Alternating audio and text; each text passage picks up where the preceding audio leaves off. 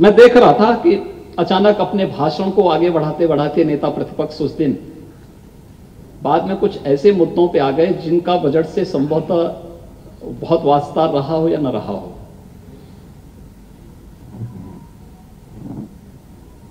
और कुछ ऐसी बातों को इस सदन में कहने लग गए थे जिसका खामियाजा प्रदेश अतीत में बहुत भोग चुका है। आज से उभर चुका है प्रदेश। उत्तर प्रदेश आज एक नई दिशा की ओर बढ़ रहा है। लेकिन उनके भाषण से मुझे दुष्यंत कुमार की पंक्तियाँ याद आ गई कि कैसे मंजर सामने आने लगे हैं और गाते गाते लोग चिल्लाने लगे हैं।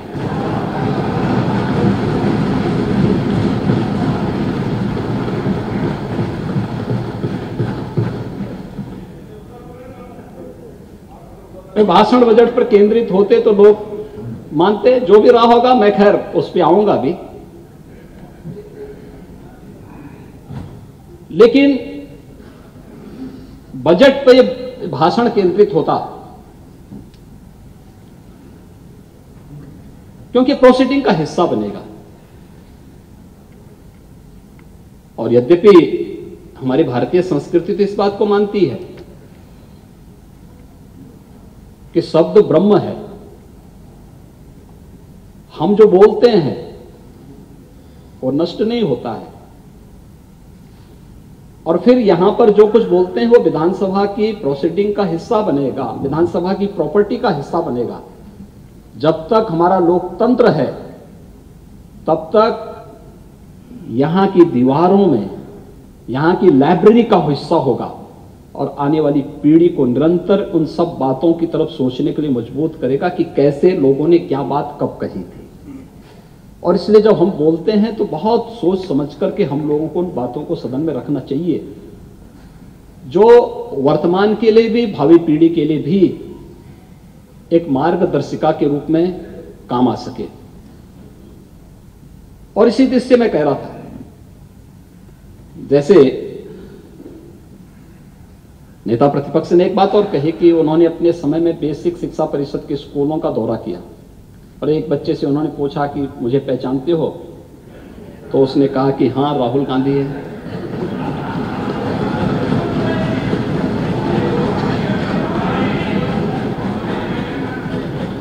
बच्चे भोले भाले होते हैं, लेकिन मन के होते हैं सच्चे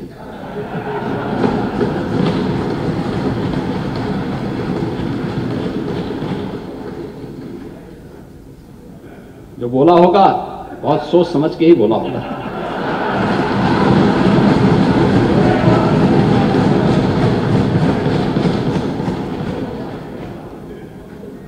फ़र्क बहुत ज़्यादा नहीं है।